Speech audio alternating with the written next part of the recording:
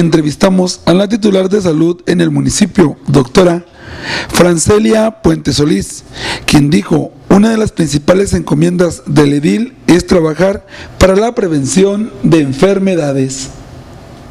Sí, como no, mi nombre es Francelia Puente Solís, responsable del Departamento de Salud Municipal del municipio de Ciudad Fernández.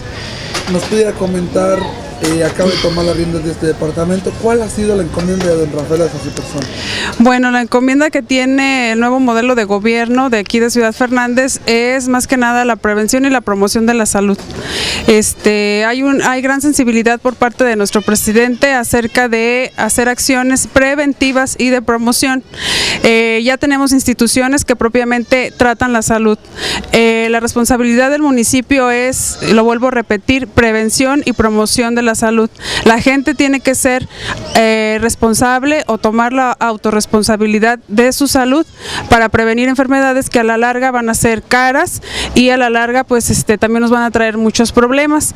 Todo esto en conjunto para pues al final de nuestra vida tener este un estilo de vida o una esperanza de vida mucho mayor a la del promedio de la que maneja la media nacional, que es de 62 a 70 años, y, este, y vivirla con mucha dignidad.